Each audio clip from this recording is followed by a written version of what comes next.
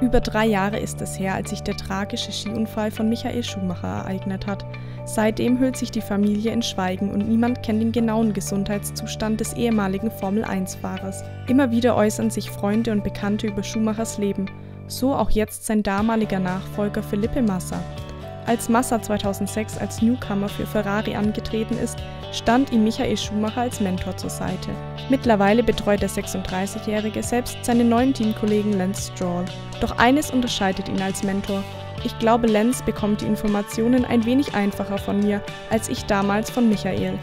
Scheint so, als hätte der Rekordweltmeister nicht immer mit der Sprache rausgerückt, doch seinen Schützling hat das nie gestört. Aber ich habe so viel gefragt, weil ich Michael als eine Art Lehrer, eine Art Meister angesehen habe. Ich hatte keine Angst davor, ihn zu fragen. Was machst du hier, was machst du dort anders? Ich habe ihn alles gefragt, was ich nur konnte. Trotz alledem hatten die beiden ein gutes Verhältnis. Nur eine Sache konnte Michael gar nicht leiden. Natürlich, wenn ich dann vor ihm lag, war er nicht zu 100% glücklich damit.